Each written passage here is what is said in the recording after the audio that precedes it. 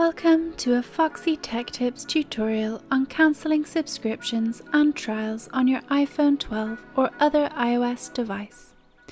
If you find this tutorial helpful, please consider subscribing to my channel and liking the video.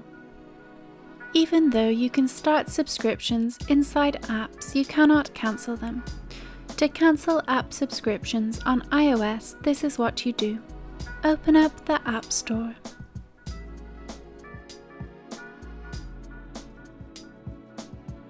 In the App Store, tap your profile icon from the top right of the screen.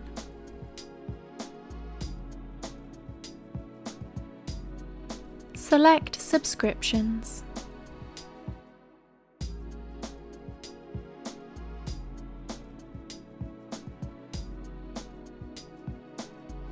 This page shows a list of your active and expired subscriptions.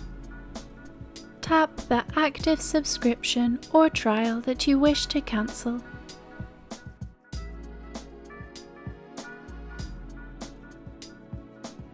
Now select Cancel Trial or Cancel Subscription.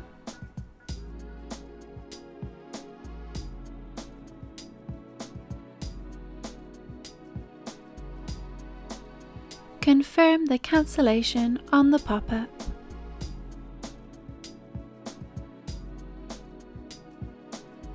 Your subscription will now be cancelled.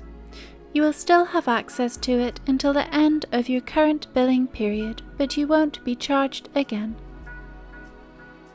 And that draws an end to this tutorial. Please like the video if you found it helpful and subscribe to Foxy Tech Tips for more iOS tips and tricks.